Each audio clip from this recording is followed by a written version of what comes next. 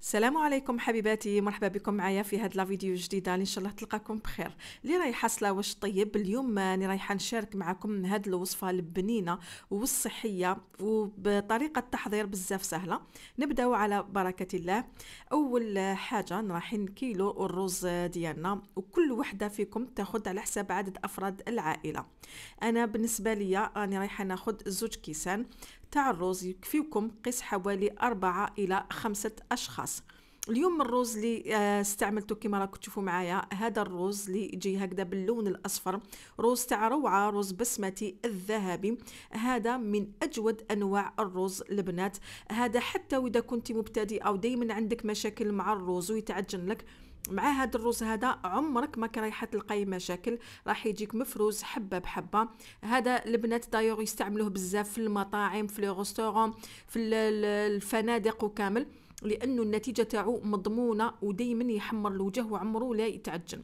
كيما على بالكم الرز دائما قبل ما نطيبوه نغسلوه عدة مرات باش نتخلصوا من النشا اللي يكون فيه ومن بعد نشمخوه في شوية ماء عادي.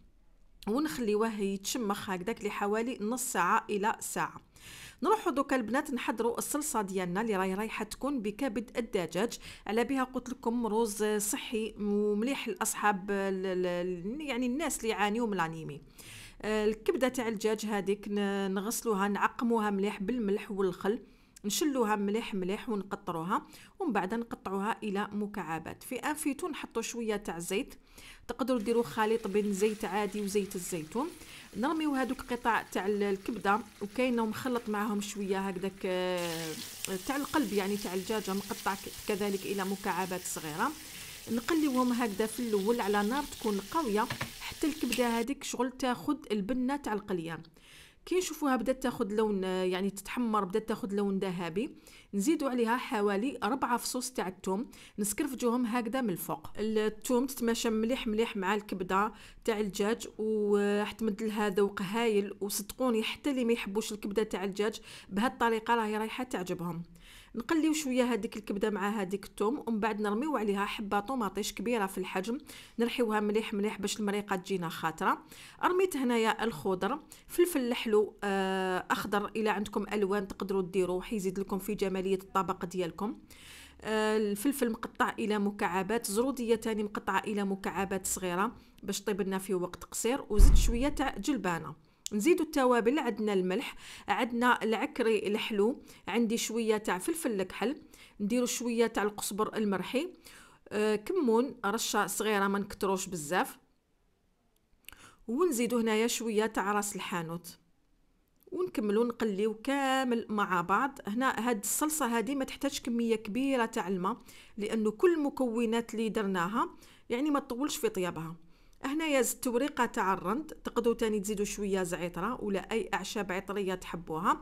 نغطيو على هذيك الخضر مع الكبدة نخليوها طيب ودوكا نروحوا نوجدوا مع بعض الرز ديالنا. إحنا نعطيكم يعني أحسن طريقة باش طيبوا الرز ديالكم ويجيكم يعني ماشي معجن ويطيب في وقت قصير جدا.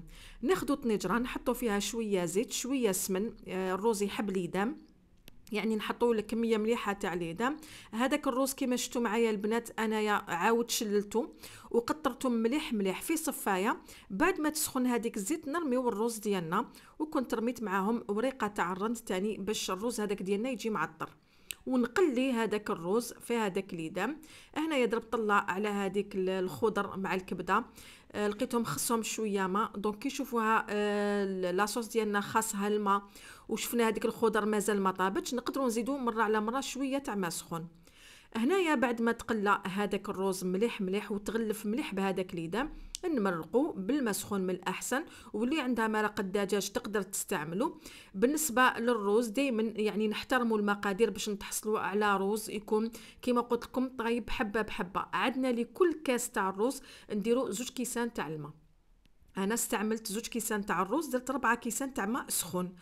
ونغطي على هذاك الروز ما نساوش نديروا له شوية ملح شوية فلفل كحل ونغطيو عليه ونقصو للنار تماما ونخليوه يطيب على نار قليلة حتى نشوفوه تشرب كامل هادوك السوائل. وهاوليك هنايا. بعد حوالي هكذاك سبع دقائق أكو شتو الروز ديالنا كيفاش جا؟ جا هايل. آه ماشي معجن وطاب ما شاء الله. حتى في القوام تاعو يعني ماشي يابس ماشي طاب كيما يقولوا بالضبط. هنايا تاني طليت على هذيك الصلصة شوفوا. يعني راهي تشربت كامل لاصوص بقات فيها غير هذاك ليدام. على بالكم كبدة تاع الدجاج تاني تحب شوية ليدام بزيادة باش تجي بنينه ودوكا نروحو نوجدو الطبق ديالنا. أنا حبيت نقدمو هكذا بهاد الطريقة خديت هكذا مول دائري حطيت فيه كامل هذيك الصلصة ومن الفوق نحطو الرز ديالنا. وراكم تشوفوا في هذاك الرز كيفاش كيما قلت لكم خرج يشهي يعني تشوفوا فيه يعني باين حبة بحبة ماشي كامل معجن. فوالا نحطو الكمية اللي نحتاجوها نمشيوه كامل هكذا مليح من الفوق. نضغطوا عليه شوية هكذا بالظهر تاع المغرفة.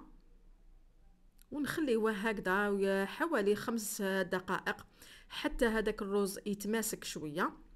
ومن بعد نقلبوه فوق صحن التقديم بهذه الطريقة هذه.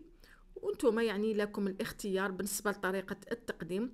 تقدروا مباشرة يعني تحطوا الرز وحده ولا صوص وحده وكل واحد يسقي يدير شوية رز وشوية من هذيك الصلصة. هنايا نقدموه مع رشه تاع الحشيش ولا رشه تاع معدنوس اللي يكون متوفر عندكم. وهاوليك الطبق الصحي ديالنا اللي عملناه اليوم بالروز. آه طبق يوالم تاني كما قلت لكم في بداية الفيديو بزاف صحاب لانيمي وربي يشفي جميع المرضى إن شاء الله. غني بالكبد تاع الدجاج وغني تاني بالخضر. والأهم من ذلك البنات يجي من أروع ما يكون يجي بزاف بنين.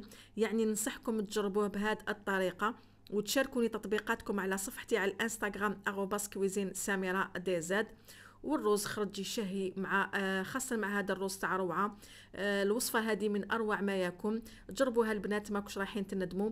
ونقول لكم شاهدكم في الصحة شاهدكم في الجنة. نلتقي في فيديو واحد آخر. في أمان الله.